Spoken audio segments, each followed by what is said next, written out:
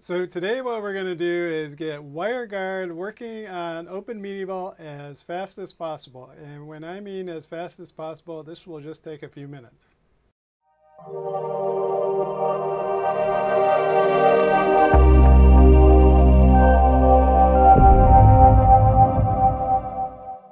A special thank you to all my patrons who without your support this channel would not be possible. And if you haven't already, please think about supporting the channel you love. Thank you.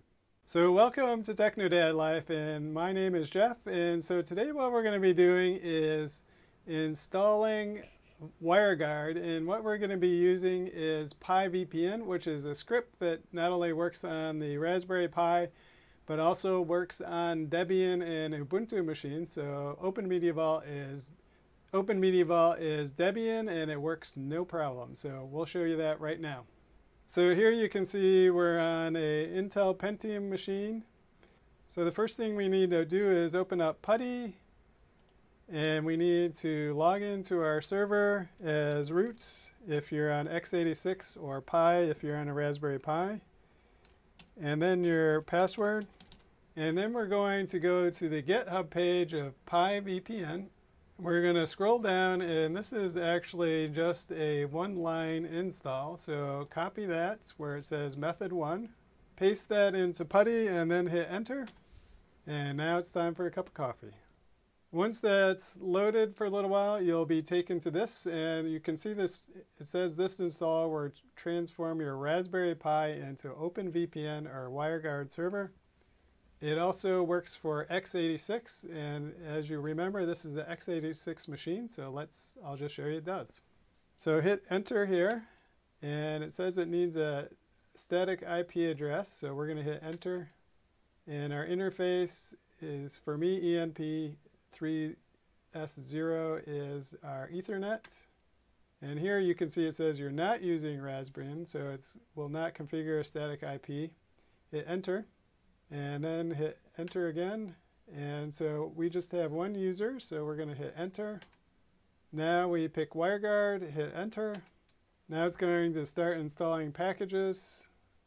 Here we can modify the, so here we can modify the port that we need to forward, but this is actually a good reminder. We'll forward that port right now. So next we want to copy our IP address. Paste that in there and take away any slashes or anything like that. And our port we need to forward is 51820. So we'll type in 51820, 51820, and it's UDP, and then click New, and then click Save. So now our port is saved. Let's just go back to make sure. There it is. So 51820, yes, it's the same, so we're going to click yes. And here you pick the DNS provider, pick whichever one you want. We'll just leave it at quad 9, click OK.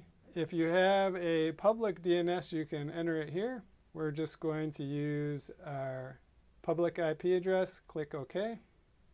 And now it's going to make the server keys. And so this will do automatic updates. Click OK and yes. And now it's telling you how to add in uh, clients and it's PiVPN add. Click OK. And then we're going to tab over to yes and then click OK or enter to reboot and then OK. So while it's doing that, you can download the WireGuard app for your phone because this is how we're going to check it. So we're going to set up the WireGuard app on our phone take it out of Wi-Fi, just have it on cellular, and then connect to our network.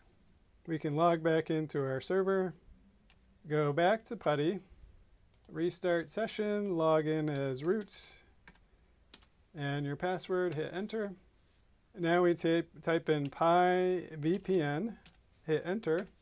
So this will give us the commands that we can use, and what we're going to be doing is adding a user. So to add a user, we're going to type in pivpn-a and then hit enter. So a name for our client is Jeff. Hit enter. It creates our user.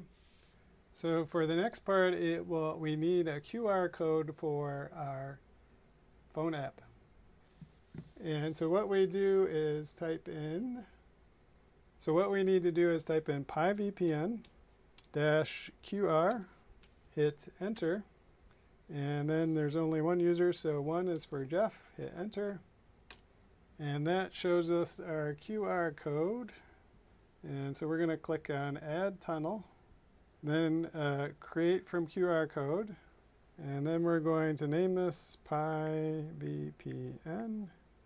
Click Save and Allow. So now our PiVPN is saved. And so all we need to do is activate it. And let's just make sure we're not on Wi-Fi here. No Wi-Fi. Goods. We go to our web browser. So then we type in the local IP address of our server. And there you can see it's logged into our server and then we can just log in and browse our server.